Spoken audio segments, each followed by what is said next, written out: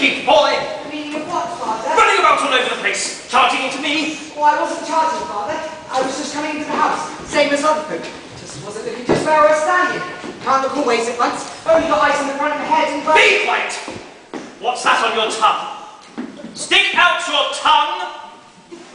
Oh, the shade of your tongue, William Brown, could shade spring's freshest tints.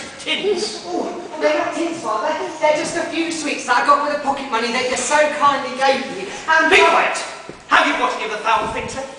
But they're not foul things, Father. They're good.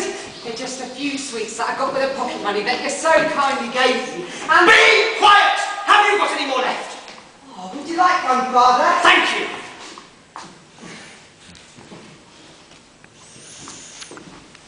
If I catch you eating any more of these foul confectionaries, my son, your life will suddenly become suddenly more difficult. Well, seeing as you've taken away my sweets, can I have my pocket money back? As I see it's only fair, so I can buy something else. I've had enough of your eloquence, William. I've had enough of your rudeness, your lack of hygiene, your abhorrent table manners, your despicable appearance, your... I have decided that next term you are to go straight to boarding school. Boarding school? Why are you sending me to a boarding school? There's no point. Running, and cold showers, and millions and millions of lessons. Why, you don't want me to do millions and millions of lessons, do you? You get no breaks from them. I bet if they heard about boarding schools in Parliament, well, hmm, there'd be an inquest about it. Besides, oh, I'd only get ill from overworking and get brain fever, same as they do with cooks. And then you'd have to pay for doctor's bills and perhaps, oh, perhaps, oh, have to pay for my funeral too. I don't see how anyone can go on learning for years and years and not get brain fever and die of it. Anyone would think you wanted me to die. And if I did, shouldn't be surprised if the judge did something to you about it. I'm quite willing to risk it. Where's my bow and arrow? That implement has now been discarded to the same fate as that of those insultry, hard-boiled, incandescent,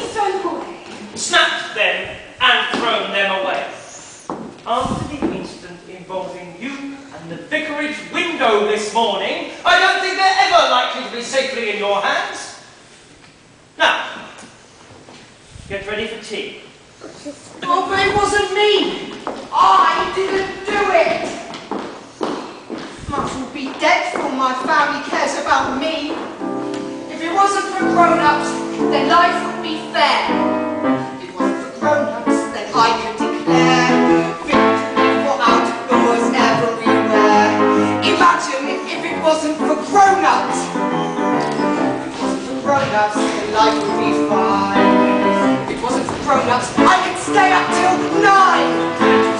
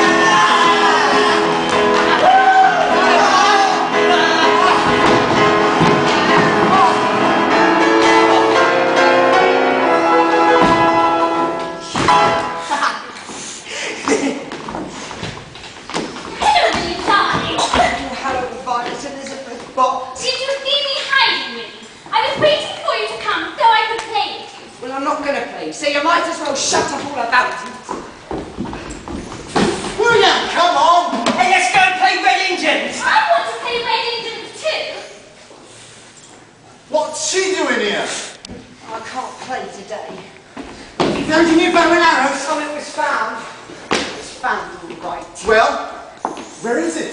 Father snapped him in half. We should go and find his bow and arrows and, and snap them in half.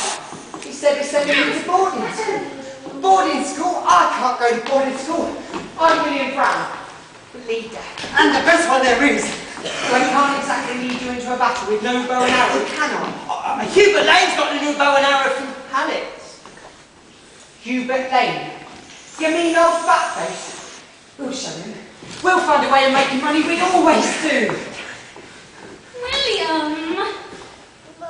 You still here? Yes.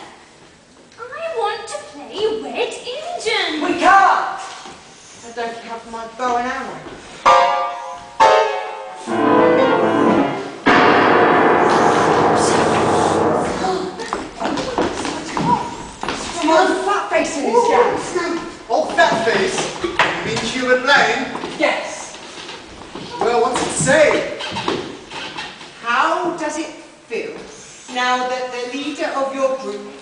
Has no bow and arrows to fight back?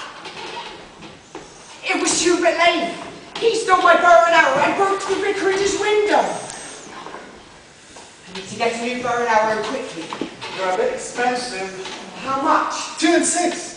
That's a lot of money. Oh, shut up! Two and six isn't that much money. My father. Shut up! We need to do something we've never done before to make money. You could. Shut up! But we've done everything. Waxwork show, an animal show, plays. the newspapers. Robin Hood, What was that? taking from the rich folk to give to the poor. Oh. I've